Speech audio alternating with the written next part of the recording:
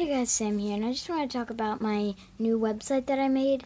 And basically, it's full of forums, contact me's, pics of the day, everything that you need for my channel is on there.